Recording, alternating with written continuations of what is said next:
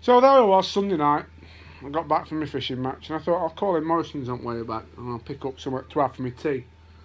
I Ah. thought, well, you know what? I didn't have a breakfast this morning, so I'll make up for it. So uh, one piece of bacon, one egg, one sausage, one tomato, one hash brown, and one bit of bread. Ah. And there's this gorgeous girl behind the counter, the cashier, and I'm putting all these items through, paying for them all. And obviously there's, there's one of everything like, and she goes, uh, "Oh look at you, one of everything." I went, "Yeah." She went, "I bet you're a single fellow aren't you?" I went, "Yeah, I am actually." How did you know that? Is it because I'm buying one of everything?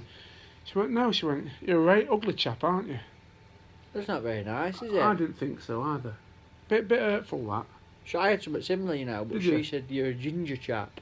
That's understandable, isn't it? But, yeah. I mean, I'm a little. I didn't think it were right nice though. I won't be going back in. Well, you're not. No. Bless you. Bless you. How, But- how your weekend? well, I was going to say, you in particular don't deserve things like that because you're such a nice guy. Oh, mate, I'm a lovely lad. Tell them what you did on Saturday. Saturday, took kids out, didn't I? Not my kids, other people's Although you kids. have got kids, haven't you? I've got, oh mate, I have got that many kids. No, I ain't got any. Um, it was the final sort of proper session for the Midlands Angling Trust Talent Pathway. Yeah. Townsend Lakes got seven youngsters there, Yeah. all top young lads. Love them all to bits, brilliant. Um, it were blowing a gale, freezing cold. Um, wasn't very nice weather at all. It was chucking it down when we got there in the morning. And I thought, you know what, this is gonna be a right. It's gonna be a call off. Yeah. I thought we are gonna have to write it off and end up in a classroom. And they all stuck it out. Sun come out in the afternoon. Awesome days fishing. Caught loads of fish. Learnt loads. I had a right good time with them all. It was brilliant. Loved every minute of it. And I'll tell you what, there's a couple. uh, They're all very, very, very good. But I'll tell you who deserves a special mention this time. Young Yeah. Zach. You know, Yeah. Mark Murdoch's little Yeah. man. He's, he's only 14 years old and he, he must have had close to 30 pounder of big skimmers. What's his surname, Matt? I think it's Wall Walby or something like that. Right. Zach Walby. Yeah. Yeah. Right nice little lad, right little character, dead cheeky smile. You'll see some pictures of him with his fish. Um, but he's really, really natural. Looks great with a rod in his hand. But they all did really well. Young, uh, there's another young lad called Kieran, and he he were on like the end, and he were in a bit of a hard bit, and he won't and he won't catch it out to start with because I don't think there are any fish there. And uh, I were dead worried that he were going to get a bit despondent Hmm. and that, but he didn't. He stuck at it. He were like, "No, I'm fine. I'll catch some later." And all of a sudden, he started catching some roach, and he started feeding on. He was really, really good, and he's ended up catching four or five pound a nice little roach Brilliant. on pole. It was brilliant. They all had a, had a lovely day with them all. They all did really well. Awesome. Well, and what comes next then in that series? It's there's like a day where they get there's like the southern talent pathway, Midlands and the north. The next one's where they all get together at Barston and have a like a bit of a competition. It's like a team thing Ah, basically. went last year, didn't Yeah, I? Everyone yeah. sits in a line, don't they? And the England Yeah. managers have a look Yeah, at more yeah. and But you can still go down and help them out. It's not too strict or anything. Like no. come along and give them a bit of coaching and help them out. But no, right, enjoyed it, mate. They, they, it's an absolute pleasure to work with someone. Awesome. Awesome. And was what did you do Saturday night? Oh, I went partying, didn't I? Did you? Yeah. Tell me about your day Saturday first. What happened in your day? On Saturday, we went for a line-up. A line up. Trentman, Matrix Dynamite Trentman line-up Ah, on the Gloucester Canal to practice for the forthcoming Sensas Challenge. right. And we sat on a bit that none of us have ever fished before called Pomali. Pamali. Now, this bit of canal was a long, long way off the water. Ooh. Like eight foot off the water. Oh my maybe lord. a bit more. So we were like, oh, this is interesting. And like, first of all, we struggled to get us nets in, and I had to set them in the keep net really low, so I got a couple of rings in so I could put some fish in it, which was optimistic, I know, but you know. Aye. And um, you know, the other thing was because it was just concrete and dead high and exposed, the wind caught it really well, so a couple of anglers had nightmares with things blowing in through the day. Right. So I'll talk about fishing in a minute, but the highlight of my day from a team fishing point of view was when my teammate Stu Burdekin's pole blew into the canal. Now, that sounds a pretty horrible thing to say, but we did get it back. Hmm. The canal is pretty much a 10 foot sheer drop right off that wall Yeah. where you're fishing. So cold pole's going in there. I thought, there's no way we're getting this back. 'cause it's 10 foot there, it's probably 18 foot in the middle. Yeah. Big, massive, deep canal. So I thought, no. Anyway, a couple of others, Lee Wright, Stu, and myself, had a put around with a weed rake. And all of a sudden, Lee's gone, I think I've got something here. So Lee and Stu have pulled this pole up, right? And we've seen it, but then obviously we're ten foot off the water. How do we get it? Go on. Young Ricky Marshall. Now, if ever you want a perfect team angler, he's the man. He came forward. He said, "Just dangle me off the edge if you want, lads." Well, like you what? Well, yeah, I'll get you that. So Gary Mumby and myself and James Wilson got hold of Ricky, dangled him off the edge. But like one of these. Yeah, yeah. Stu and Lee manoeuvred this pole a bit higher. Ricky grabbed it and we got his pole back. And he didn't get wet. No, Didn't you give him a cheeky little dunk? felt like it, but no, bless him. After it's quite hard, you know, Ricky. Is there? It'd, it'd bite your head off if you did something like that. It'd Kill Angry you. kid. Kill you. He'd struggle eight foot down off, off a concrete wall, wouldn't he? He would be angry kid, wouldn't he? Yeah. How was the fishing now? The fishing was good on that bit. We Yeah. caught a few fish. Really, really good. Um, Who were top performer in the team? Well, Or your man of the day? it's a really close one, you see, because uh, Lee and I put um, two very experienced anglers on either end peg. Yeah.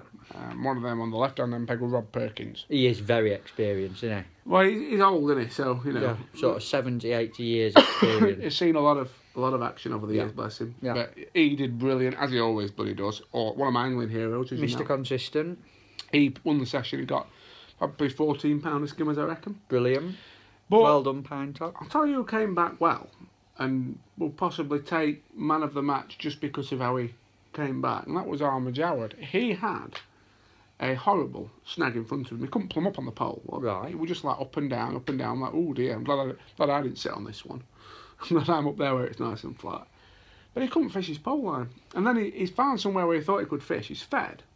And because of that, like, he's gone to put his rig in and there's bits he couldn't see, like strands coming off the bottom, whether it were a branch or what it was, I don't Oh, know. God. He couldn't even put his rig in, he couldn't, couldn't get to the pole. So, he's fed the slider line and he's caught close to double figures in the last couple of hours on the slider and come back really well. So, Brilliant fishing as well, that. Oh, it? it's been ever so good. I mean, not all like that. Where I was, it was a bit more difficult. I Yeah. caught um, I caught two big roach, a big perch, and a few little fish.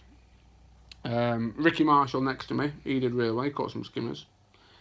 Um, it was it was patchy, you know, as as that canal is, but great. Going to be a great final next weekend. I'm looking forward to it. Really, really good. And then we went out that night, stopped at the Whitminster Inn. Gloucester Gold, it were called, a real ale, and it just went down nice. Yeah, a few of them, did you? Me and Gary, Mumby and Stu Burdick were pouring them away like they were going out of fashion. Oh, It was just Lord. Going down lovely. Got to get it out of your system before big match. Well, we didn't. We were settled. We were still in bed for midnight. We took us time. Ah, right. but, but you know what it's like when you get settled. Especially with guys, he can put them away, can't He he? can knock 'em back. But you had a few. You send it weren't very well, were you? Spilling drinks, falling over, and chewing gum in hair. That's Ah, three things I've heard about from you. Do you know, like when you have a little spell in your match where things start to go wrong for you? Yeah. Well, I went out for someone's birthday. Little Meg, one of my mates from school, were a 25th birthday. Yeah. And we uh, we got a load of old schoolmates together and we decided to have a night out in Sheffield. And I ain't got out on on Sunday, on Mother's Day. So having a day at home. So I thought I'd go out. And uh, uh, as night went on, I got a little bit more tipsy, more and more tipsy. Yeah. At one uh, and, and my match were going quite well Yeah. at this point, and I stood at bar with Meg, whose birthday it was, and I decided to knock a drink over onto her, not intentionally. So she copped for that, and then about an hour later, after a few more sambucas, you know when you go upstairs, there's uh, them blokes in toilets, isn't they, selling perfume, Yeah, yeah. and they sell like flowery necklaces, don't they? Yeah. and um, they sell all weird stuff you put on your head, and they sell chewing gum and lollipops, don't they? Right. Right. So I bought a load of chewing gum and lollipops off him. Don't know why. So I started eating this chewing gum. And then next minute I was talking to little Meg whose birthday it was, Yeah. who I'd already knocked a drink on. Yeah. And my chewing gum come out Oh no. and went in her hair. Bless. But then I, I played her right trick. I Ah. quickly grabbed it, put it back in my mouth, and, and she says, Is it all gone? And I was looking down and I could see a load left in her hair. And I went, Yeah, it's all gone. And that were her birthday. Yeah, She's gonna have to have read it Well- freezer. That's the only way to get it out of it. But freeze it. I'll show you what she did. She uh, sent me a picture next morning. She solved it. She solved it with a pair of scissors. Bless her. Bless her. But that were it. Good night. Didn't feel so well yesterday. Never drinking again. Man down. We're in bed all afternoon, down. weren't you? I were asleep in the afternoon and I were slept well last night. I Ah. only just feel right now. How were your day Sunday? Sunday, mate. I had a very interesting day. Ah, I drew um, peg 56 at Hempsted. Yeah. Stop it, it's rubbish. And there was a big boat rally on. Was there? 250 boats went up the canal in the morning, Ah. And 250 p- uh, boats came back in the afternoon. Big uns. Rowers, rowing boats. Rowers.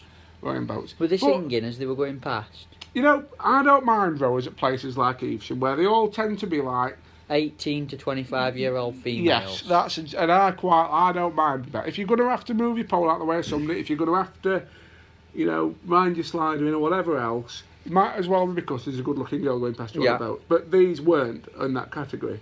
These were all bloody ankle biters and young kids who went to where they were going and Right. going all over the canal. And so it wasn't any good for that. Oh, Yeah. some old ones and all. Some Were old ones, yeah, but there were very, very few. For a real, I nearly put a complaint in actually. Really? Yeah, there were a distinct lack of quality eye candy on the in the boats. So It's no good, is it?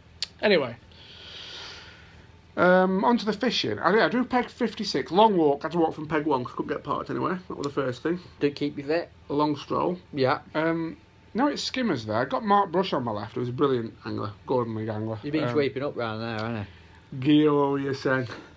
cleaning up. Cleaning up, cleaning up, cleaning anyway, he um, he's, Did he's you have much bristle stuck out? Stop it. I didn't want end peg.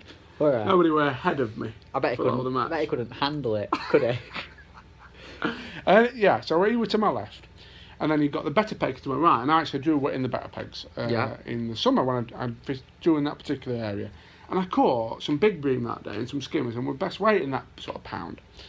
But um, I was where the less favoured pegs were on that day this time. Yeah.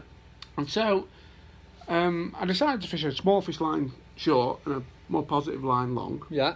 And to cut a long story short, it was very, very hard for a lot of anglers. It was hard for me. I've had two skimmers, proper ones, um, probably pound fish. Nice. I've had one smaller skimmer about eight ounce, and I had about three little fish like that. And I weighed two pound fourteen, which was good enough only for second in my section. Mm. Mark Brush to my left, beat me off the end peg with three pound one. He won the section.